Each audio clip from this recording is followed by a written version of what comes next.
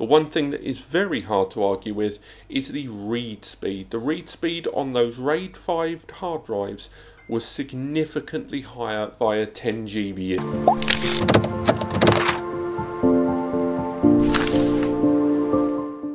Hello and welcome back and today starts part of a three-part series about the speed of your NAS. More precisely, I want to talk about the following.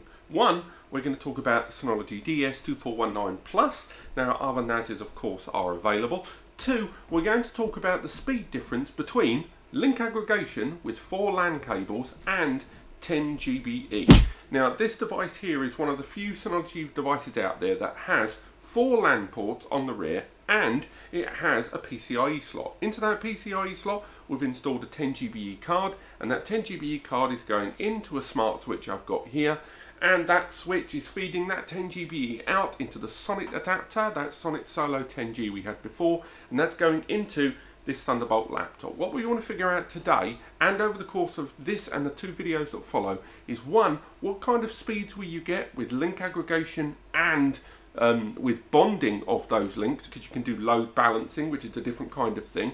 What's the speed difference between them and 10 GBE?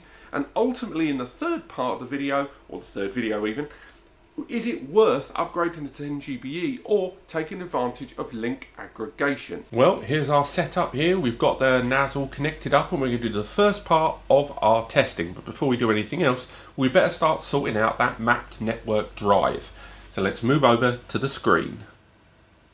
So here we are back on the desktop and right now as mentioned I'm using the Sonnet Solo 10G adapter. This adapter is connecting this laptop to my smart 10G switch and that switch is connected in turn to the NAS in two different ways. It's connected via four LAN ports with link aggregation connected via the switch, all each one of them being one gigabit ethernet to the NAS, the 2419 Plus, each connected to a LAN port and on the other connection I've got a 10 GBE card inside this NAS that connects the 10G switch to this now 10G enabled switch. So there we are, 10,000 megabits per second, and up here 4 times 1000 megabits per second. Also, let's sort out some network drives because that's the way we want to do this so we can start doing the tests. So for the case um, for the case in point here, the IP labeled 1, that is the 10 GBE connected switch and the IP labelled 15 is the four LAN ports. Inside this NAS we have both hard drives and SSDs so we're going to be running all of these tests on both hard drives and SSDs. So if we use the RAID 5, uh, sorry the RAID 0 with SSDs, this RAID 0 has got four um, 240 gig SSDs in a RAID 0 environment, Samsung 860 EVOs I believe. We'll click next we'll make that drive letter Z. Next, we're going to do the same thing, and again, we're going to map that on this connection. And on this one, we're going to use the hard drives. So that's three 4TB WD Reds in a RAID 5 environment. I'm Going to click next, and again, this is using the 10 gigabit connection. Click next there, and we're in. Now we'll move over to the 10, uh, sorry, the 4 times 1 gigabit LAN ports there, and we're going to map the exact same drives, but this time over 4 times 1 GBE. So again, SSDs, can map that in X, and finally we're going to map on there. And we're going to map the hard drive. So now we've got the two kinds of storage, the two different kinds of RAID as well in our NAS mapped across four different drives, four mapped network drives. We have two mapped network drives for the uh, one ending 15. So these two here are the four LAN and these two here where the IP ends in the number one are our 10 gigabit ethernet. Next, let's do a speed test on AJA of the hard drives via that good old 10 GBE connection. So, let's roll. And again, great speeds we're getting here over 10 GBE, but it's worth mentioning that because we're using 10 GBE on three hard drives in a RAID 5, the speeds we're getting aren't going to be, you know, extensively higher than that of those four LAN cables we were using, the 4 times 1 GBE in link aggregation And that's because each one of those drives really only gives us about 100 to maybe 110 megs.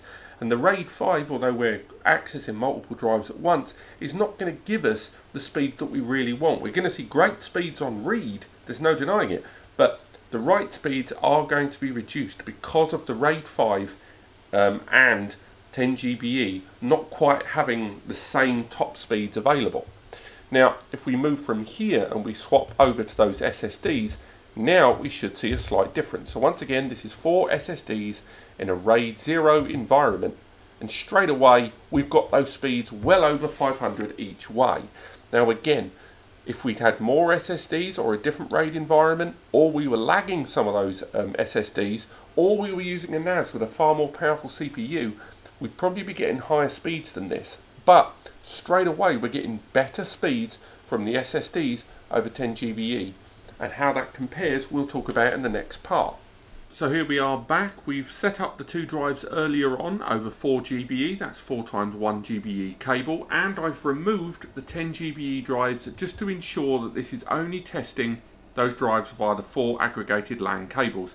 I apologise in advance if the fan noise in the background has leapt up. Apparently link aggregating across these four cables has made my switch kick its fan in somewhat. So we will be getting a bit of background noise and I do apologise for that. But Let's go straight into the hard drive test. That's the RAID 5s that we're going to access over 4 GBE. Let's go. So straight away we're hitting late 300s to 400s and right now that RAID 5 via 4 GBE is maxing out the connection on those hard drives. We'd already seen that the link aggregate, um, sorry, the RAID 5 hard drives via 10 GBE exceeded 400 megs consistently. But as we can see, these hard drives via link aggregation are still giving us the full available network speed over those four cables, which is good. I mean, don't get me wrong. I didn't expect these speed tests to go above 400 by any noticeable degree. I thought maybe at the very, very top it would be around 410, maxing out the 4 times 1 GBE connection. But nevertheless, it is still interesting to see that we are still getting great speeds over link aggregation of those four, I'm sorry, those three hard drives in a RAID 5 configuration. So what we'll do is we'll let this last read speed spin out and then I'll stop this and we'll do exactly the same test for those SSDs. So over here we'll make sure we select uh, Bay X or Network Drive X which is the RAID 0 of SSDs which again we're going to be accessing via 4 1GB LAN. I'm sorry to be repetitious but you'll be amazed how often people will skip forward on a very dull video like this. So let's start. So again we're getting to that 420. Now this is interesting because although we're using 4 times 1 GBE, 1 GBE is still technically higher than 1 gigabit in traditional terms. So it could really have the potential to max out around 420 and I think that is what we're seeing here with AJA.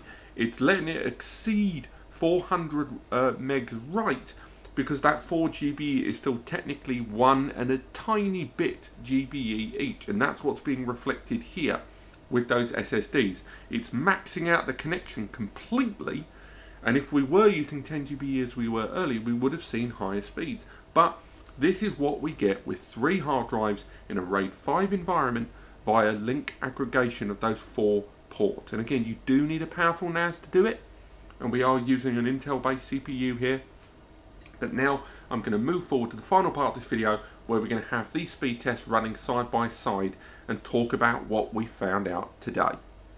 Straight away, the first thing that became apparent during these tests was that the write speed on the link aggregated uh, connection to the hard drives did seem to give greater results. Now this could be because you've got four independent streams of data being written to the NAS, but as you saw as the test continued, that number did wildly fluctuate. But one thing that is very hard to argue with is the read speed. The read speed on those RAID 5 hard drives was significantly higher via 10 GBE.